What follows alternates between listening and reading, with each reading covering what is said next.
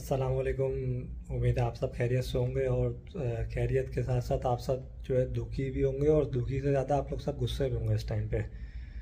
मतलब यार, कोई जो है ना वर्ड्स नहीं है बोलने के लिए बैट्समैनों के लिए, यकीन मानो यार, कोई वर्ड्स नहीं है। मोहम्मद रिजवान, जब आप इतना सेट हो चुके हो तो आप इस तरह कैसे आउट हो सकते हैं? जब आपको पता है कि आपके नीचे सारे जितने आने वाले हैं वो सब लंगूर के बच्चे हैं, किसी को खेलना नहीं आता किसी को कुछ बैट पकड़ना नहीं आता, वो कहाँ से खेलेंगे यार?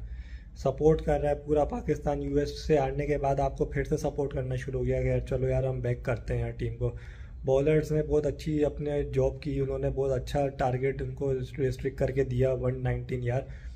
ये तो आप हर बॉल पे एक एक दो दो रन भी बनाते तो आपको बाउंड्रीज की ज़रूरत ही नहीं थी यार।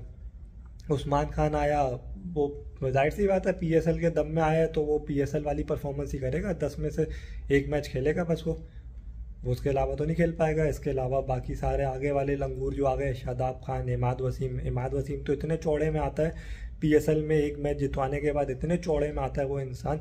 कि जो है ना, पता नहीं अब वो डेथ ओवर का जो है ना डेथ ओवर का वो मैच जितवाने वाला प्लेयर है वो वो ऐसे आता है ऊपर से ना। मतलब उसका एटीट्यूड देखा करो कि भाई अब तो मैं आ गया, अब तो मैं आराम से मैच जितवा दूँगा, कोई टेंशन वाली बात ही नहीं। है और वो चचा इफ्तार बुढ़ा उसको साले को खेलना ही नहीं आता कोई गेम उसकी शक्ल बता रही होती है कि उसकी जो है ना, वो हालत ख़राब हुई हुई है। उसको ग्लूकोज के इंजेक्शन लगवाने पड़ेंगे बाद में मैच के बाद। ऐसी उसकी हालत है बिल्कुल। यार 119 रन 120 रन नहीं बना पा रहे यार आप यार, खुदाई कसम यार। क्या बोले बंदा यार, सीरियसली शेमफुल यार शेम अभी यूएस वाली हार का जो है वो गम जो है वो अभी ख़त्म नहीं हुआ था तो ये जो है चलो उम्मीद हुई थी यार, चलो 120 का टारगेट मिला है इजीली चीज़ जीत जाएँगे यार। मर मर के भी अगर बनाएँगे तो इजीली बना ही लेंगे यार।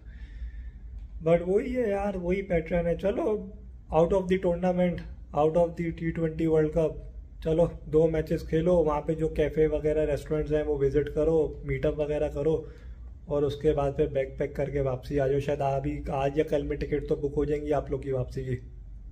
आओ उसके बाद फिर जो आप जेबें भर कर आओगे वो उसकी अयाशी करना है यहाँ पे बैठ के।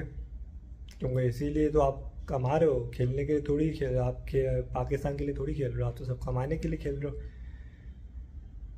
डिसअपॉइंटमेंट यार डिसअपॉइंटमेंट कभी कभी यकीन मानो हर दफ़ा दिल करता है कि मैच देखना छोड़ दो, लेकिन बंदा फिर भी कहता है, चलो यार, अपनी टीम है, चलो आओ सपोर्ट करते हैं यार, दुआ करते हैं, अल्लाह से अल्लाह करे, जीत जाए। लेकिन यार डिसअपॉइंटमेंट यार डिसअपॉइंटमेंट या तो टोटल अच्छा होता, ज़्यादा होता फाइट करके हारते तो फिर अलग बात थी यार। इंडियंस खुद मतलब कि वो खुद ही डिसअपॉइंट हो गए थे कि वो मैच जीत ही नहीं सकते, उनकी बॉडी लैंग्वेज बता रही थी, सब कुछ बता रहा था। लेकिन हमारे बैट्समैनों ने तो कोशिश ही नहीं की वो शायद रन बनाने रन बनाने की थोड़ी सी कोशिश करते तो शायद बना लेते।